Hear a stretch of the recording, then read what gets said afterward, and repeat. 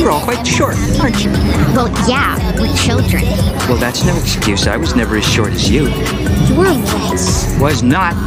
Know why?